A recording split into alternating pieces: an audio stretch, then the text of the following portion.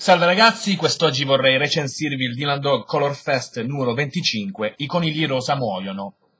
Ecco qui, è una storia con soggetto e sceneggiatura di Luigi Mignacco, ai disegni abbiamo Cesare Valeri, per la colorazione abbiamo Sergio Algozzino, ma eh, passiamo a parlare della copertina di Lorenzo De Felici, Eccola qui, una copertina che mette in risalto ovviamente i colori di questa storia, eh, Dylan Dog triste in mezzo a tutti i personaggi del Paese delle Ombre Colorate, I, la scritta in rosso quasi amaranto Dylan Dog, eh, ovviamente i colori mettono in risalto questa bella copertina di Lorenzo De Felici, una copertina che induce poi ovviamente eh, il lettore a leggere questa storia che andremo a vedere parlerà ovviamente di un personaggio storico, comunque apparso nei vecchi di Van Dog, eh, che i vecchi lettori riconosceranno subito.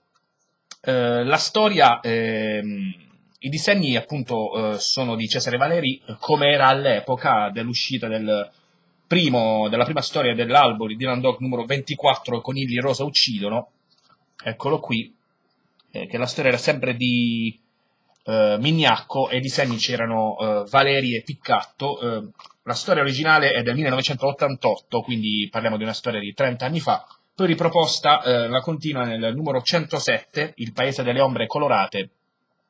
Una storia sempre di, ovviamente, di Mignacco, con eh, qui ai disegni c'era eh, soltanto Piccatto.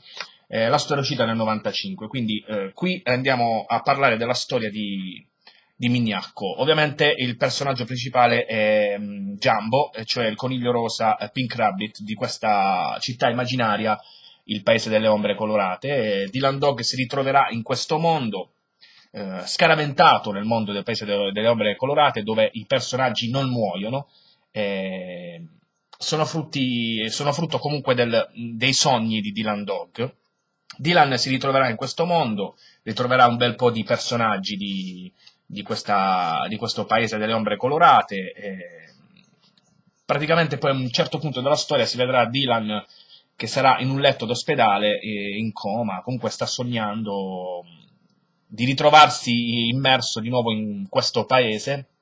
È una storia veramente strana per Dylan Dog, ma bella. A un certo punto, proprio con i colori, vediamo qui eh, sembrerà di essere immersi in una storia quasi Disney, eh, però mm, Mignacco, Luigi Mignacco ha fatto un ottimo lavoro perché una cosa iniziata nel 1988, poi riportata in auge nel 95 e ora con questa storia nel Color Fest ha riportato in auge appunto questo personaggio Pink Rabbit che ha avuto sempre un rapporto conflittuale con Dylan e mm, sarà, questo rapporto sarà riproposto in questa storia con Indie Rosa Muoiono eh, dove un certo punto però poi Pink Rabbit eh, aiuterà anche Dylan. Dylan si ritroverà, si ritroverà appunto in questo mondo eh, dove non, non, può, non, può, morire, però se ne accorgono subito ovviamente gli abitanti del paese delle ombre colorate che lui è un umano fatto di carne, come si suol dire. E mi sono segnato appunto delle citazioni a pagina 11, a pagina 11 eh, Pink Rabbit eh, praticamente vuole uccidere Danny Dog, che è un personaggio delle ombre colorate, eh, gli dice Danny tesoro, non ti farò niente, soltanto quella testa te la spacco in due. E qui, a pagina 11, ho colto questa citazione del film Shining di Jack Torrance, quando dice a Wendy, Wendy ti spacco quella testolina. Questa è una citazione che ho trovato.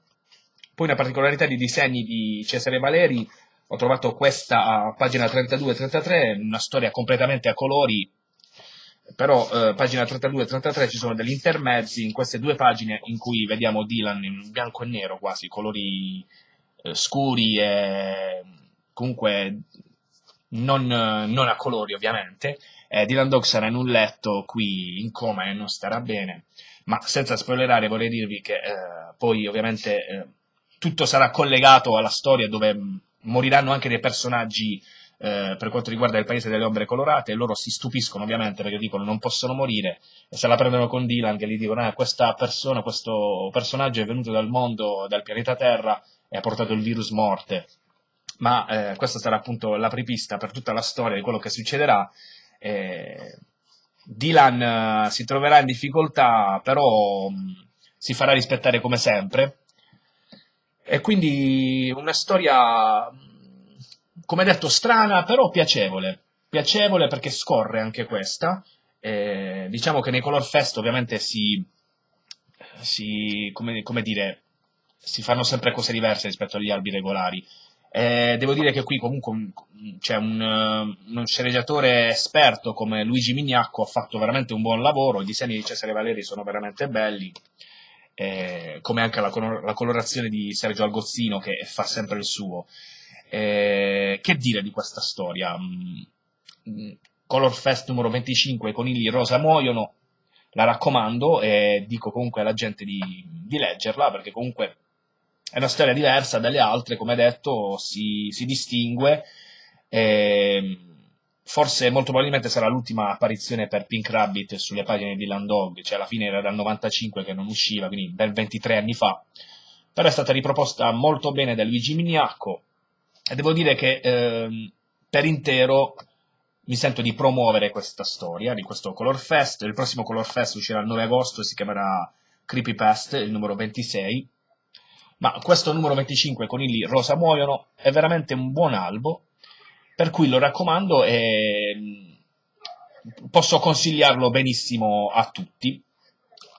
E niente, Dinando Color Fest numero 25, i conigli rosa muoiono, è eh, promosso, un buon albo, quindi sento di promuoverla.